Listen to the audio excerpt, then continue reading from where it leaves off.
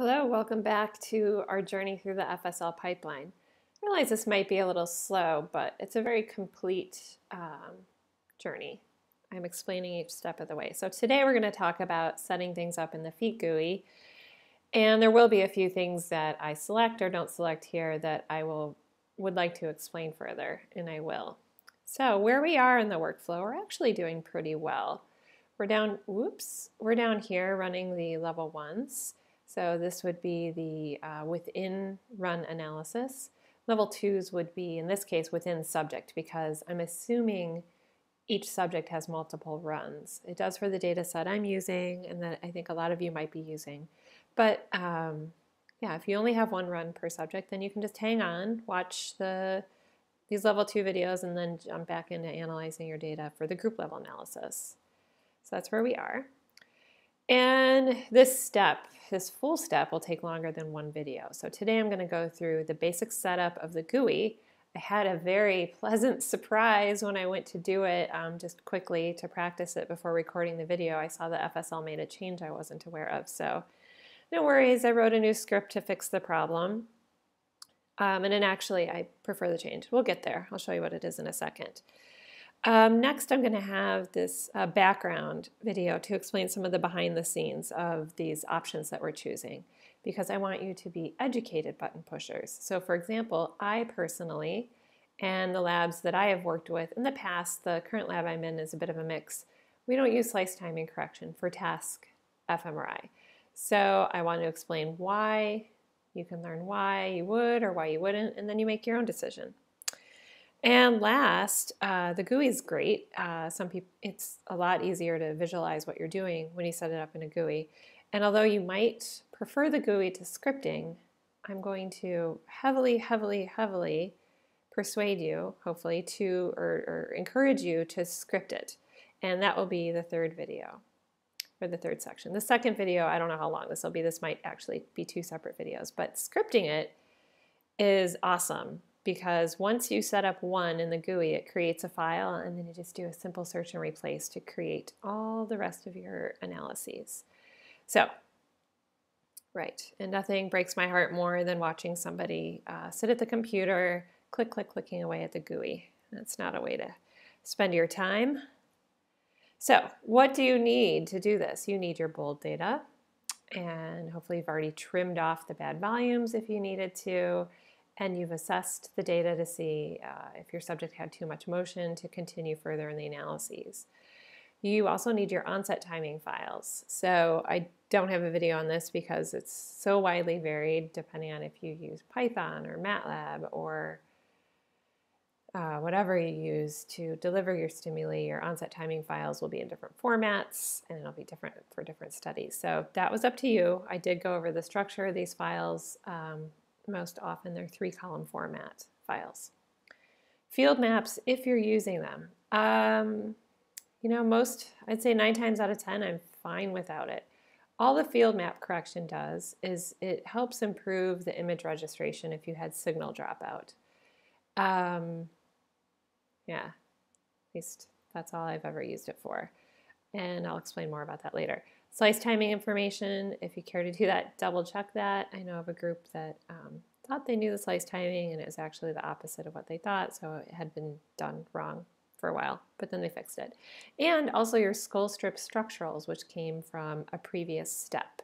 So you should have those. If you don't have the skull strip uh, structurals, or if your bold data aren't ready, you know, click here to go see that video, click here to go see uh, that video and you can watch it, process your data, and you're all set. All right, so let's go. I am going to go, I use XQuartz. I don't know if this is required. It's just how I, um, just what I've chosen to do. So I'm on a Mac. So I open feat by typing feat underscore GUI, and I always put the ampersand so I don't lose my window. If you're in Linux, you'll just type feat and an ampersand. But again, I'm on a Mac, so feat underscore GUI for me.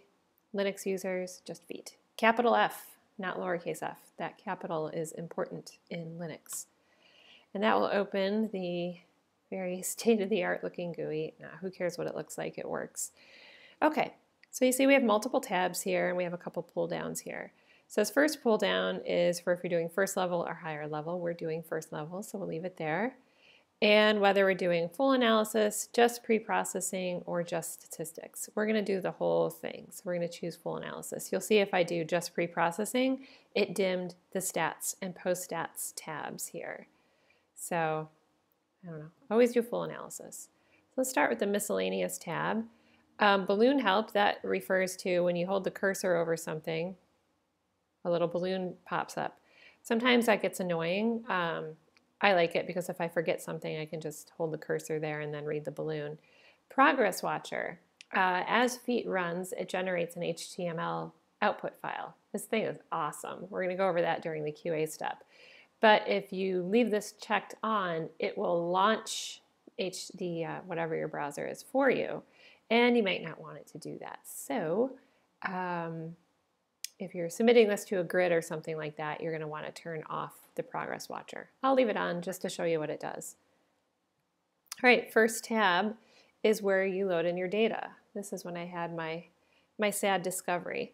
So I'm going to click select 4D data. This is course this is referring to my bold data set. So I'm going to click that and now I need to go and select it. So where am I? Seriously, where am I? Okay, so I'm going to go into, I actually don't know where I am. Ah, okay, I'm in the onsets directory. Nowhere near where I want to be. So I am in the bold directory. This is subject 1. So I'm going to go into task 001, run 001, and select the bold, uh, just ignore this. Select this and then hit OK. Uh-oh, this is when I had some sad times this morning. The input file has a TR of 1. If the data was generated, oh, that's annoying, data is plural. If the data were generated with an older MRI sequence, this may be incorrect. So it turns out it's incorrect. If you read the information that's uh, distributed with this data set, I'm again using uh, OpenFMRI data, the TR is in fact 2. So you'll see if I hit OK, it has set the TR, hard-coded it to 1. So this is a big bummer uh, because the TR is actually 2 and I can't change it here. So I have to actually change it in the header. But I actually like this because in the past you both input the number of volumes and the TR. The TR I don't care, it typically doesn't change, but some studies the total number of volumes changes from run to run. And if you didn't put the right number in there, FSL did not do the correct thing. So now it just reads it automatically off the header as it should. So how do we fix this? Well, I wrote you a script. So uh, in the Dropbox, uh, and I'll put a, uh, a, link to this in the info box of this video, you will find fixtr in NIfTI header underscore bold.py. And basically what this does, this is the rest of this is just what we've been using to loop through all the bold files. So in fact, had I known that I had to do this, when I did the other processing to my bold files, I would have inserted this into that script. So I don't want to go back and fix it now because then people who watch that video will be confused about the extra chunk of code. So I'm leaving it here. I highly recommend for you to incorporate it into the original script where we, where we were um, processing the bold files. Anyhow, all this does, uh, actually we don't need this, so I'm going to delete that. Okay. All this does is it uses FSL info to get the header information. I'm going to show you what FSL info does. Let's put my GUI over here. All right.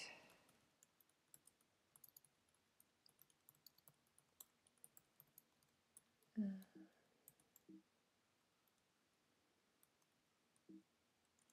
Okay. So if I do FSL info, this is just a shortened um, output of the header information. If you do FSL, uh, HD, yeah, this is the full header. We don't want the full header, it's too much information. So all we need is FSL info. And the stuff we want to change is right here. Actually, there's only one number we want to change. This pixdim 4 is the TR. pixdim 1 is the dimension of the voxel in the x direction then the Y, and then the Z. So these voxels are five millimeters thick. The fourth is the TR in seconds. So I need to change this to two. How will I ever do that? I will tell you. It turns out that the FSL ch pixdim command, and I will just type this so you can see the help. Warning. Okay, yeah, it's upset. But um, all you do is you give it the file, the xdim, ydim, zdim, and then the tdim. All we want to change is the tdim. Now I've tried just giving it one number, thinking it would assume I was changing the tdim, and it didn't work. I can double check this. Maybe I did it wrong. But uh, what my script does is it gets the current xdim, ydim, and zdim from the header because we do not want to change those. We definitely don't want to change those. That'll screw up everything, presumably. Um, but I just want to change this number. So go to the script. So the first thing I do is I use FSL info and I dump that into grep for pixdim. And that creates a vector um, out. I'll show you what out looks like. So it looks like this, and then out split, I just split it, makes it into an actual vector. So then if I just pick out the third element, that's the x, the fifth is the, oops, z, wait, I can't count. The first is the x, the third is the y, fifth is the z, and then I don't care about this number because I want to change it. So that's just explaining the code very quickly. So here I'm just getting the correct pixdims that I do not want to change, and this is the one I do want to change. Again, I'm, I'm gently uh, uh, yelling at you here. Double check that that really is your TR. I checked it in the information given with my data set, and this is the correct DR, TR. So if you're using this DS008 data set, the TR is 2. Uh, that information is in, well, I wonder if you guys can hear the snowplow outside. It's snowing. Um, I think it's in scan key. Yep. So scan key tells us the TR is 2. By the way, the models is going to be something we're going to look at in a second since I have this directory here. So that is the TR. So if I run this script, which I haven't run it for everybody, I changed it for one run just so I could run this code for you today. This will change it for everybody. It's overwriting a file and changing the header. I can't stress to you how careful you need to be if you're changing the header of a NIfTI file. So as usual, run it on a copy of a file first, quadruple check that it worked, and then um, fire away and run it and overwrite the file so you don't um, so you don't waste space. Okay, let's go back to the GUI. So as I said, I actually fixed this for a different run. So I did it for run two. You see I have my copy in here. That's the one I tested it on. And now when I hit OK, no complaints. So it's only going to complain if it's if it thinks it's kind of a ridiculous TR. And actually, a one second TR is not all that ridiculous now. But now it's 2 as it should be. Now it's 182. Yay. So we're ready to continue. And the next step is setting the output directory. This might seem really simple, but when I've taught this before, um, there were tons of errors in the class. Tons. So I'll explain what happened. I will emphasize this as clearly as I can. So this here is going to fill in this path here. So if you just click this, see how this filled in? Then I'm going to hit OK because I just want kind of that path, and I'm going to edit it. Actually, you know what? This isn't right. Onsets. Okay, I'm going to go to the model directory. I want to put it in here, so I'm going to hit OK. So then if I go over here, it is in sub 001 model. Now, if you don't type anything, if you just leave it like this, it's going to create a directory called model.feat, which isn't what we want. We want something called run1 dot feat. Now, all you do is you type, I'm sorry, run two, this is run two. All you do is type run two. You don't want to put a slash.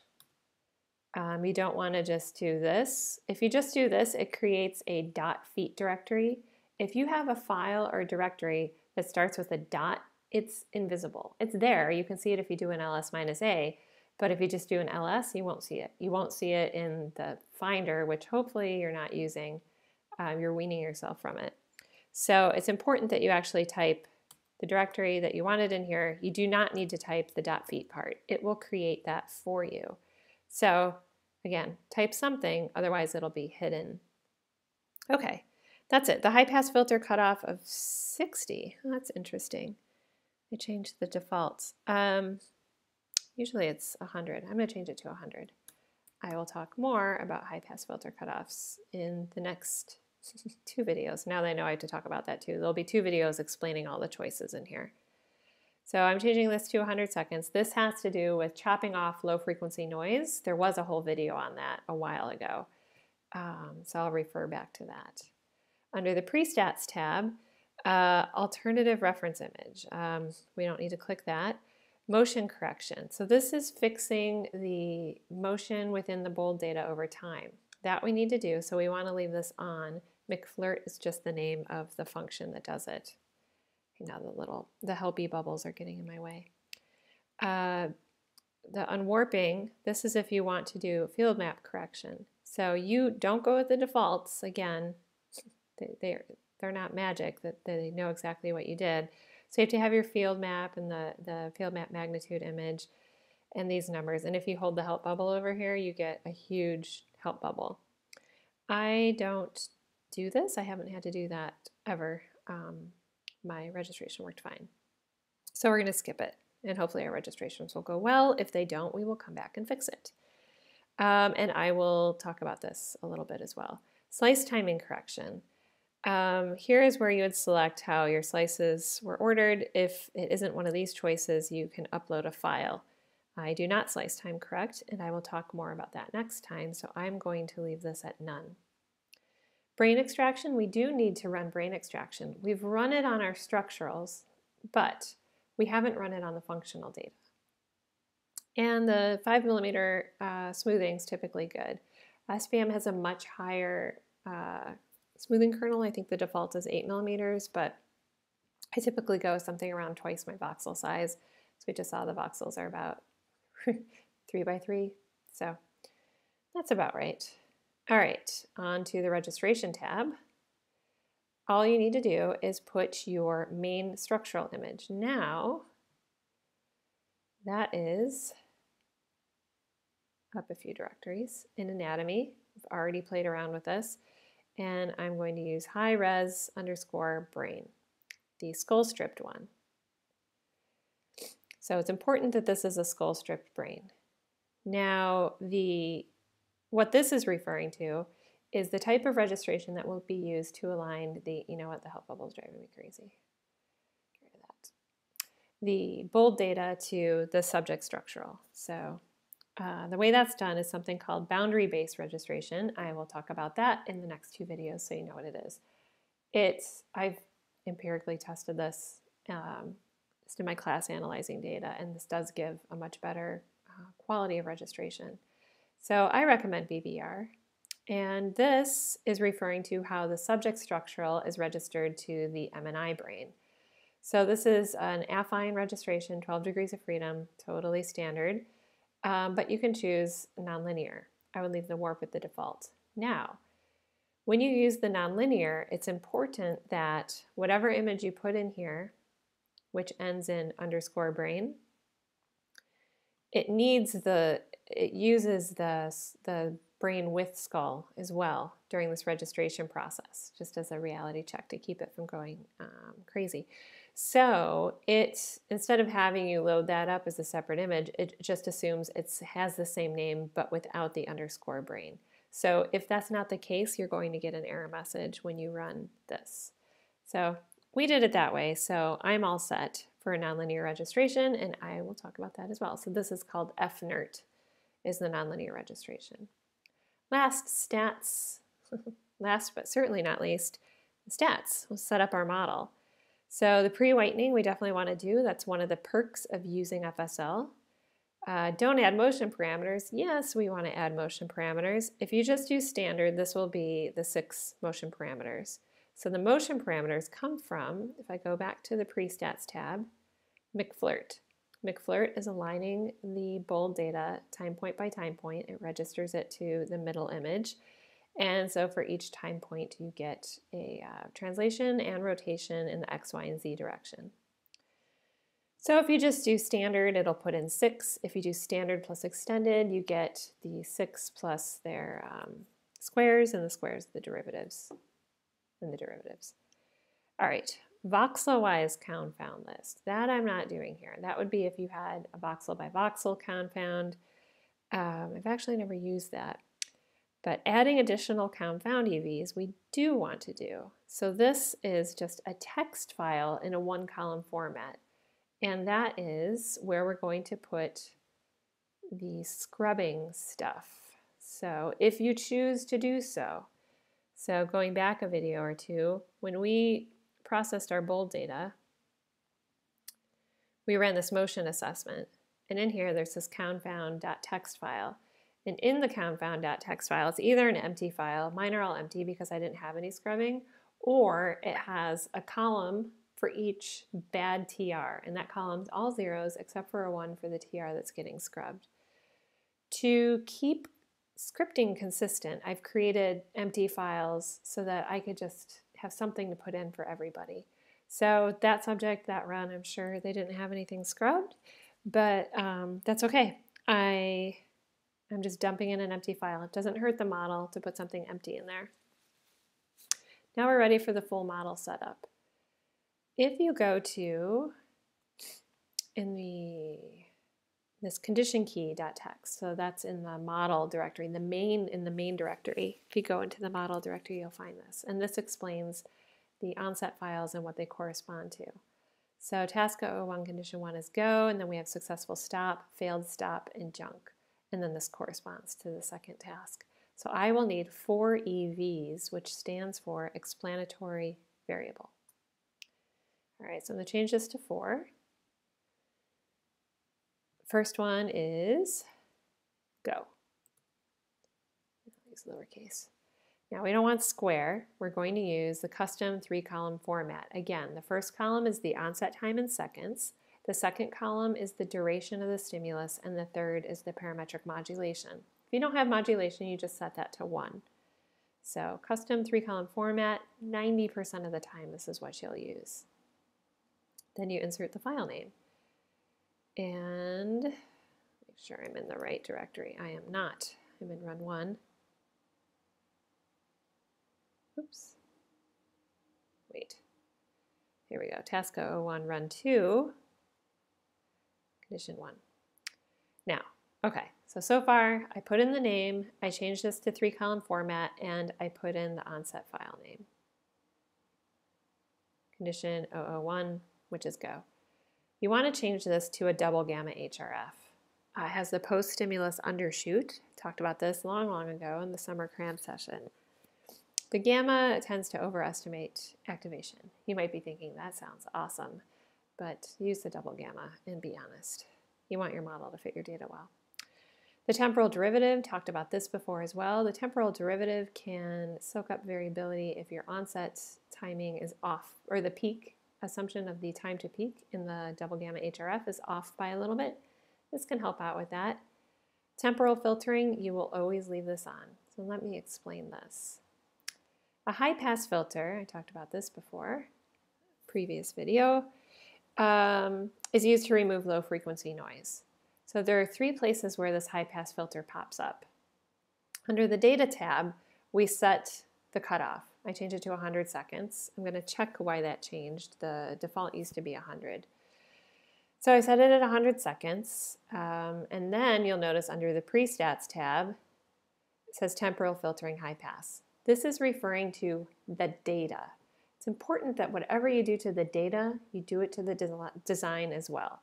So this is a little bit of an unfortunate design, or maybe there's a reason for it, because I wish turning it on here automatically turned it on here but it doesn't. Actually, I take that back. I can think of times where I might not temporally filter something, possibly. So anyway, this high pass filters the data. This high pass filters the design. Most of the time, you want to do both, so you need this to be checked. So as it was, that was the default. Okay, So quick recap, put the name, custom three column format, put the file in, changed to double gamma, and left everything else as it was. Don't orthogonalize. Wrote a whole paper on that. Okay, I'm just going to quickly set up the rest of these. And the next one is successful stop. So we'll call this suck stop. Change it to three column format. Put the file name. Uh, make sure that was the right run. Nope, run two. Double gamma, everything else stays. Next is failed stop. Fail stop. Three column format. Let's do this right. Double gamma. Looks good. Last is junk. Wait, is it junk? Yep. Junk is just trials where things didn't go right. We don't want to not model them because then they go into the baseline. And wish this would reset itself, but whatever.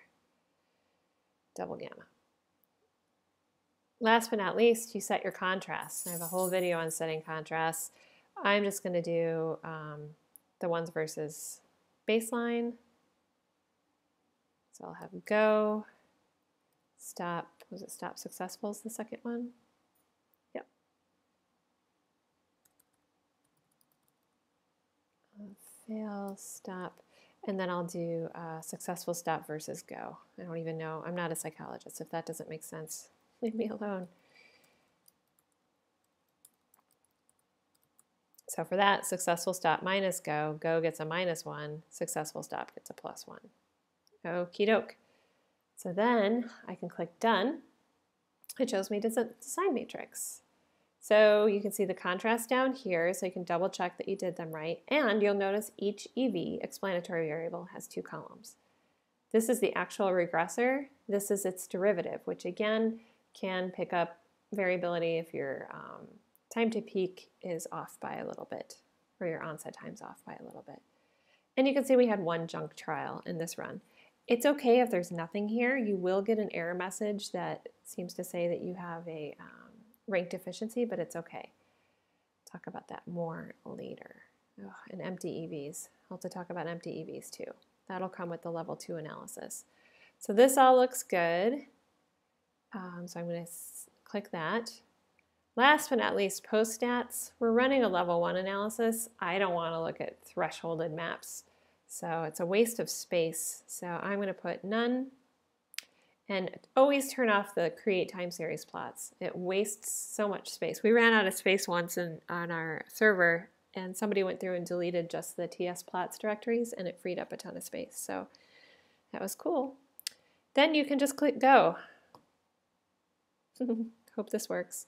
And it will automatically, since I didn't turn it off, fire up my browser and it'll tell me how it's going. And this is the log, and we'll review all of that next time. And it will stay still running until it finishes. Whew. This one ran long, but I can't really help it. So, notes, check your TR. If it's not correct in the header, use the fixed TR in NIfTI bold.py uh, script linked in the description box below to fix it. Be careful when specifying your output path. If you ran an analysis and you don't have anything there, do an ls minus a in the directory to see if you accidentally created a hidden directory. And slice timing correction, this is your decision. I choose not to do it and I will cover this next time. Registration, I don't want this to be a black box. I will spend some time going over image registration because I haven't done any videos on it yet. Um, stats, you can skip the confound.txt if you don't want to scrub. I am choosing to do it. And uh, adding motion parameters, I use all 24. If you just want six, choose six.